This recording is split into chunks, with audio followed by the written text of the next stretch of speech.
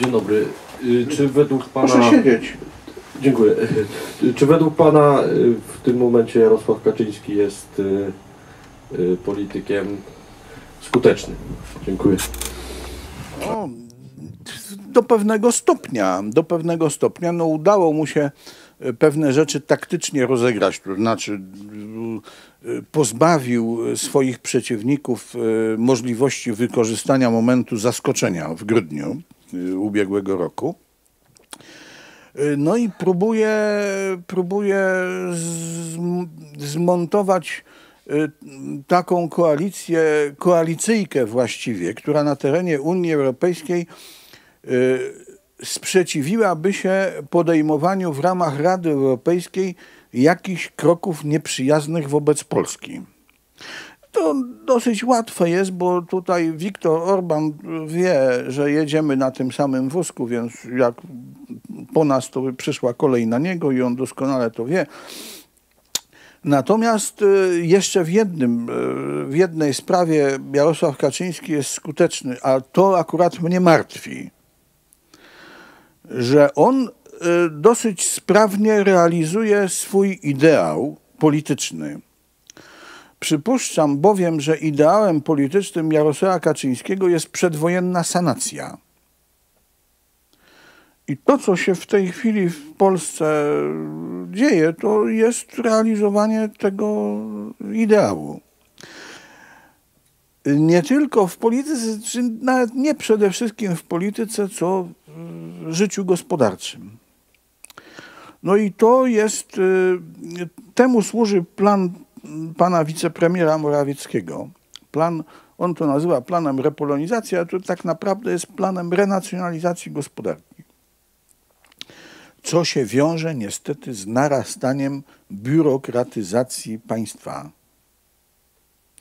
To znaczy, że narodowy potencjał gospodarczy, który jest zablokowany przez trzy czynniki, mianowicie przez wadliwy ekonomiczny model państwa ustanowiony jeszcze w 1989 roku przez generała Kiszczaka i grono osób zaufanych, który ja nazywam kapitalizmem kompradorskim jest zablokowany przez postępującą biurokratyzację państwa jako drugi czynnik, to, to jeszcze się wzmocni ta blokada. No i przez niemiecki projekt Mitteleuropa z 1915 roku, który jest realizowany. Od, od y, 2004 roku jest realizowany. No i to jest, y, co więcej, y, bardzo możliwe, że na skutek uruchomienia programów rozdawniczych. Takim programem rozdawniczym jest program 500, ale tu jest jeszcze inne, czekają w kolejce, tam mieszkanie plus i tak dalej. W sytuacji zablokowania narodowego potencjału gospodarczego, te programy rozdawnicze mogą, będą mogły być realizowane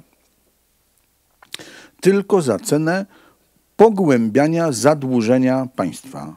Bo w tej chwili jak jest? No, koszt y, programu Rodzina 500 Plus to jest 24 miliardy złotych rocznie, a deficyt budżetowy zaplanowany w ustawie budżetowej na rok 2017 to jest prawie 60 miliardów. No to widać od razu, z jakich pieniędzy jest to realizowane. Z pożyczonych. Ale to trzeba ci oddać. To trzeba ci oddać. I dlatego to, co się dzieje, ja nazywam powtórką z Edwarda Gierka. To jest Gierkizm. Gierek to samo robił. No, skończyło się jak się skończyło, prawda? Teraz może to trwać dłużej, dlatego że o ile za Gierka Zachód był zainteresowany wysadzeniem, że tak powiem, w powietrze obozu socjalistycznego, to teraz nie jest. To teraz nie jest. Teraz jest zainteresowany Zachód. Zachód to nie jest pojęcie jednolite w tej chwili. Natomiast lichwiarska międzynarodówka jest zainteresowana utrzymywaniem. Dopóki kraj jest w stanie obsługiwać dług publiczny, to świetnie. To tak trzymać. Dlaczego? Dlatego, że w gospodarce nadal się liczy to, co się liczyło w czasach Hammurabiego. Ilu kto ma niewolników. Bo jaka jest konsekwencja zadłużania państwa, powiększania długu publicznego? ten dług publiczny narasta tam w zależności od pory roku i sezonu od 5 do 7 tysięcy złotych na sekundę się powiększa. Co oznacza, że my tego nie spłacamy, my tylko go obsługujemy. No i a co to znaczy obsługujemy? No opłacamy procenty. To jest kupowanie spokoju społecznego, nie tylko zresztą u nas, ale w innych krajach też, za cenę wpychania własnych obywateli. Rządy kupują spokój społeczny za cenę wpychania własnych obywateli w coraz głębszą, niewolniczą zależność od lichwiarskiej międzynarodówki. Niewolniczą, dlatego że istota niewolnictwa nie polega na tym, że właściciel swojego niewolnika bije, czy tam przezywa go, krzyczy na niego, tylko że nie, niewolnik musi pracować na niego. Co to znaczy pracować na niego? Musi oddawać mu bogactwo, które swoją pracą wytwarza. Więc my w coraz większym stopniu oddajemy bogactwo, które swoją pracą wytwarzamy, lichwiarskiej międzynarodówce, więc jesteśmy niewolnikiem. Nadal się liczy to, co za Hamurabiego. Ilu kto ma niewolników, więc lichwiarska międzynarodówka jest zainteresowana tym, żeby miała jak najwięcej niewolników, którzy na nią harują w pocie czoła. I dlatego to jest takie niebezpieczne. Proszę bardzo. Szanowny panie redaktorze, mm, każdy dzień przynosi y, nowe rewelacje. Oto dowiadujemy się, że na liście tajnych współpracowników nie kto inny jak sam przezacny światowej sławy y, kompozytor y, Krzysztof Penderecki. Wśród wielu moich znajomych panuje takie przekonanie, że fakt uwikłania współpracę z, ze służbami specjalnymi już po tylu latach od trans, zakończenia transformacji ustroju nie ma żadnego znaczenia. Y, czy pan redaktor mógłby się do tego jakoś odnieść? Jaki pogląd tej kwestii prezentuje? A drugie takie pytanie krótkie, gdyby pan redaktor był łaskawy przybliżyć nam coś o kongresie Nowej Prawicy, jak parę zdań, jak, jak funkcjonuje, jaka struktura jest. Ja nic na ten temat nie wiem, bo ja jestem bezpartyjny. Ja nie jestem członkiem Kongresu Nowej Prawicy, więc nie chciałbym się na ten temat wypowiadać, bo po prostu mam za mało wiadomości. Także proszę się nie gniewać, ale wolałbym nie.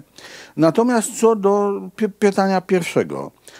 Wydaje mi się, że w miarę upływu czasu okoliczność, że ktoś był tajnym współpracownikiem służby bezpieczeństwa jeszcze do końca lat 80., będzie miała coraz mniejsze znaczenie. Będzie miała no, z powodów biologicznych po prostu. Jeszcze za, za 20 lat to już większość z tych ludzi nie będzie żyła. Albo będą starymi takimi dziadami już tam, dementami, także nie będzie żadnych tam. Natomiast jest co innego. Co innego jest groźniejsze. O czym mówiłem, że te uzależnienia od państw trzecich, no i o ile służba bezpieczeństwa została rozwiązana, to jak pamiętamy, wywiad wojskowy przeszedł transformację ustrojową w szyku zwartym i w postaci wojskowych służb informacyjnych one zostały rozwiązane dopiero e, we wrześniu 2006 roku więc funkcjonowały prawie przez 20 lat już, jak to się mówi, w wolnej Polsce. Co to znaczy, że funkcjonowały? To znaczy, że rozbudowywały sobie agenturę. I e, w Polsce jest e, siedem tajnych służb oficjalnie działających. Nie mówię o zagranicznych, tylko o krajowych. Każda z nich ma prawo prowadzenia działalności operacyjnej więc każda musi mieć agenturę, bo gdyby nie miała, to była ślepa, głucha. No i teraz zastanówmy się, proszę sobie wyobrazić, niech Państwo sobie wyobrażą, że są szefami wywiadu wojskowego. Jak podaje pan doktor Cęckiewicz w takiej książce Długie ramię Moskwy poświęconej wywiadowi wojskowemu w 1990 roku, a więc u początkach transformacji ustrojowej, wywiad wojskowy dysponował agenturą w liczbie 2,5 tysiąca konfidentów. Moim zdaniem dzisiaj po tych, tych można tę sumę pomnożyć co najmniej przez 10, a może nawet przez 15. I to jest narzędzie, skuteczne narzędzie okupacji kraju. Dlatego, że o, proszę sobie wyobrazić, spróbujcie Państwo, że wyobrazić sobie, że jesteście szefami wywiadu wojskowego. Ja wiem, że to nieprawda, ale co nam szkoli sobie wyobrazić? Gdzie byście Państwo lokowali agenturę? No, z całym szacunkiem, ale raczej nie w środowisku gospodyń domowych. No bo co gospodyni domowa może nam powiedzieć? No co się przypaliło, co się przesoliło, to nawet mogą być prawdziwe informacje, tyle tylko, że no, niewielki z nich pożytek. Dlatego agenturę się lokuje w takich miejscach, gdzie rozmaite pomysły przybierają postać obowiązującego prawa, czyli w konstytucyjnych organach państwa.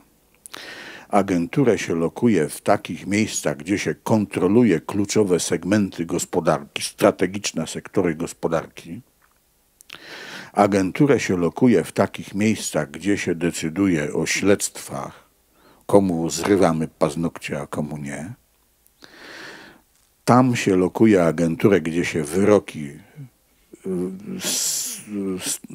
feruje, prawda? Kogo wsadzamy za kraty, kto będzie w lochu jęczał i szlochał, a kto będzie chodził na wolności. No i wreszcie agenturę się plasuje w takich miejscach, gdzie się wytwarza masowe nastroje, a więc w mediach, przemyśle rozrywkowym, środowisku opiniotwórczych, środowiskach opiniotwórczych.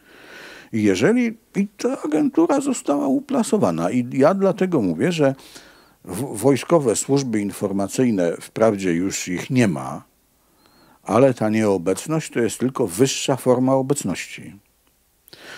Bo wszystko jedno, jak się firma nazywa, to przecież agentura została. Co więcej, ci ludzie doskonale wiedzą, dlaczego zajmują taką pozycję społeczną, kto ich tam wsadził, prawda? I od czego dalsze pozostawanie i ich, i ich dzieci, od czego to zależy? Pozycja społeczna, materialna, więc są dyspozycyjni i lojalni. I to z dawną SB coraz mniej ma wspólnego, bo to już jest zupełnie inna sytuacja. Żeby była jasność, ja nie mam pretensji do starych kiejkutów, że rządzą Polską.